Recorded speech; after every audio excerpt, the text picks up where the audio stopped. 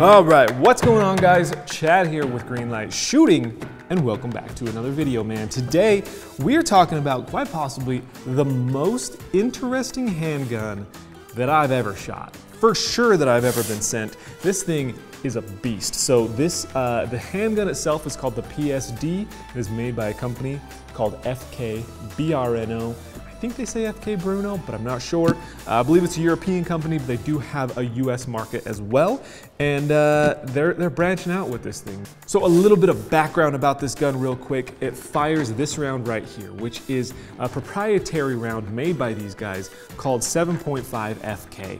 Uh, a little bit of background on that. Basically, it was designed to meet certain government requirements, like a, like a new contract for a new round of ammunition. Uh, they required a couple things. A, that it be extremely lethal. Uh, B, that it be extremely accurate at distances beyond what a standard handgun would be used to. So they call out like 50 to 150 meters.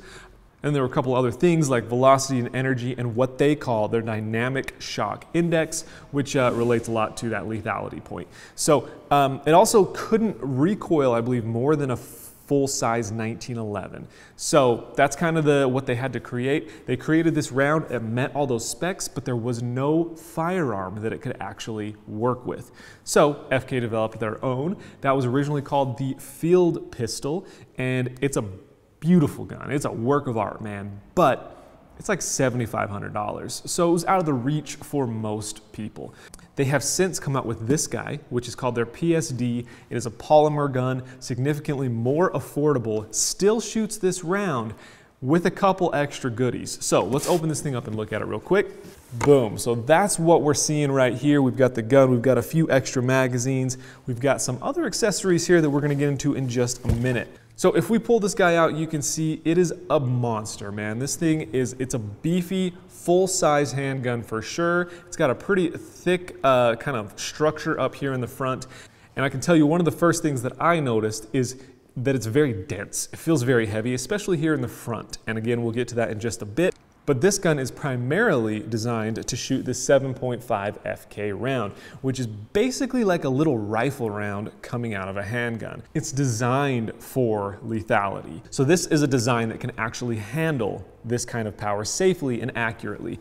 But they also realized that with this being a little bit more of a scaled down version of that field pistol, at least in terms of affordability and things like that, you can't always rely on consumers wanting to shoot this. I mean, it's like, it's not crazy, but it's like over a dollar a round, like a dollar 20 to a dollar 50 a round. There's a couple different versions of it. That starts to get expensive when you're out at the range training like you would with a handgun, right? You're shooting at paper targets, you're shooting at steel, you're just out having fun. Uh, that starts to add up really quick. So they developed a multi-caliber system for this guy.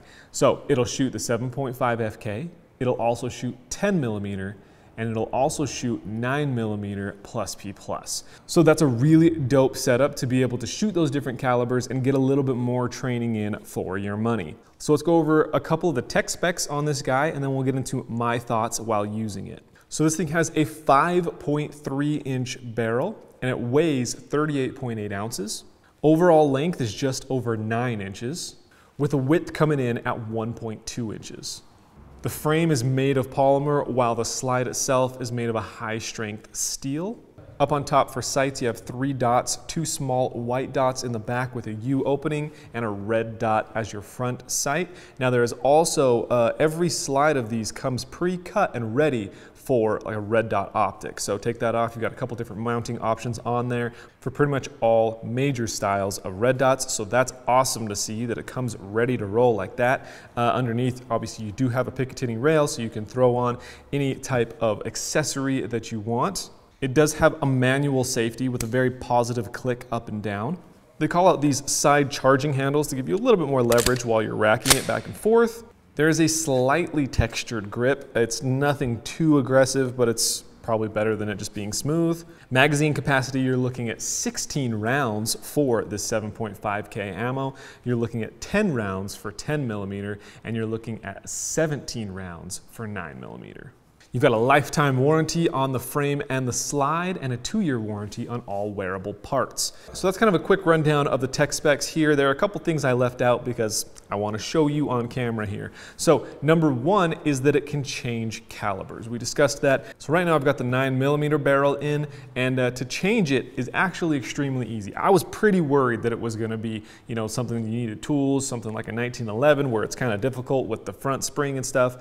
But they kill it. They've done such a good job in terms of the ease of breaking this thing down. So number one, obviously, clear it, magazine, uh, and then here on the side of the gun there are two dots. There's a dot on the slide and there's a dot on the frame. If I bring that dot back to lining up with that other dot and then I push the safety up, it locks it in that position. That is so, so nice. Instead of like a 1911 where you kind of have to hold it there and then punch out the pin, this thing has a hard stop. I love that. I cannot say enough good things about that. On this side, uh, you have this little pin, push that through, and then just lower that safety, take the slide right off. So super, super sleek. Uh, inside, you've got a spring right here and then here's another interesting thing. There's like a counterweight here on the front of the slide, and that's what's adding all that weight I was talking about earlier. Um, and it's just a, it's a recoil attenuating system, I believe they call it. I mean, it is what it sounds like. It's a bunch of weight on the front so that it can handle shooting giant rounds like this, and the recoil is, is still manageable. And then obviously while shooting a nine millimeter, it's, the recoil is non-existent. So uh, a really, really cool setup there. Take the barrel out, that's the 9 millimeter barrel. Uh, there is the 10 millimeter barrel, and here is the 7.5 FK barrel. So throw that in, boom, line it up, throw the counterweight back in the front here. Then there are two different springs, one for the 9 mil setup, one for the 7.5. So we're going 7.5, and we just reassemble like we took it off. By the way, I would also like to point out how the entire uh, slide here fits into the entire frame. There aren't just a couple points where they're meeting together. Uh, that just helps with overall recoil and accuracy. Look at that, boom, throw that in, bring this back to lining those two dots up, throw the safety up. Gosh, that's such a nice feature. Throw this guy back in there, drop that safety, let it forward, functions check, boom. So easy to switch out calibers, to field strip and clean. That was the main thing that I was really concerned about with this style of pistol, and they absolutely knocked it out of the park. So now let's talk about my experiences while using this thing. I got to take it out to the range and uh, shoot a couple hundred rounds through it. So I, I, first I took like 100 rounds of this 7.5 through it, and let me tell you, that thing, oh my goodness, has a lot of power. Like you could just feel the amount of power shooting this thing. Recoil wise, it had a lot of recoil. Like, let's just get that out there. Not a ton of recoil. It's not like shooting a 50 cal like a Desert Eagle or a 44 mag or something like that. But it's like it's like shooting a 1911 or something that like, you know, you feel the recoil, no doubt. It's not uncontrollable for sure, as long as you've got your, your fundamentals of shooting it. It is very, very controllable, but it has more recoil certainly than, like, I don't know, for me, I'm used to shooting like full size nine millimeters. Obviously, it's gonna have a lot of recoil compared to that. Um, so it just, you know, you gotta, you gotta adjust a little bit, but once you're used to it, um, just feeling the power that this freaking round has is amazing. Beyond that, it's extremely accurate. Uh, it calls out point of aim accuracy at out to 100 meters.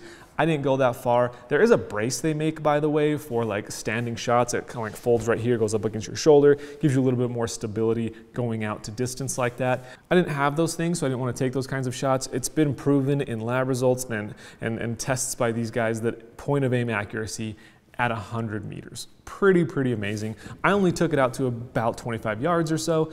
Um, I, I, shot between like 5 and 25 yards, and I found the accuracy to be absolutely spot on. It was a blast to shoot. Oh my goodness. Basically, that was a five round accuracy drill. Here's where we ended up at. That was five rounds.